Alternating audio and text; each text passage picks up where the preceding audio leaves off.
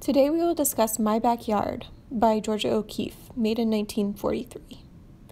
Georgia O'Keeffe was an American artist who was born in 1887 and died in 1986. This piece is made with oil on canvas and is 18 inches tall and 24 inches wide. It was purchased by the museum in 2013.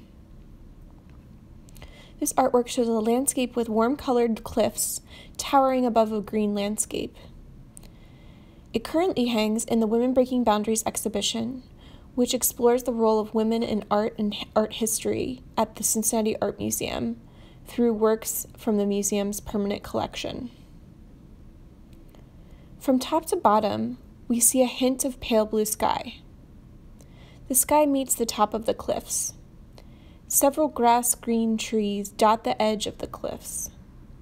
The cliffs dominate the majority of the canvas, and more trees are sparsely scattered down the cliffs.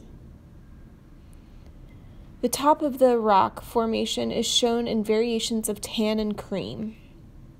About a fourth of the way down the canvas, part of the rock formation protrudes forward across the canvas.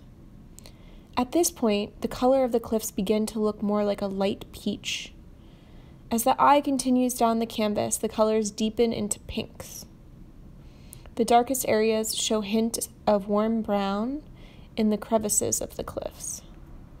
We imagine the real landscape has jagged, rough textures, but in this depiction, the lines and values are soft and gradient. The bottom of the canvas shows the foreground, which looks lush and green, especially a tree shown in the immediate foreground at the middle bottom of the canvas. This artwork is a part of a series showing the red and yellow cliffs near Ghost Ranch in Abiquiu, New Mexico. O'Keeffe felt at home there, saying, quote, It fitted to me exactly. There's something in the air. The sky is different, the wind is different. End quote. She was dubbed the mother of American modernism for her clean lines and abstract representations of reality.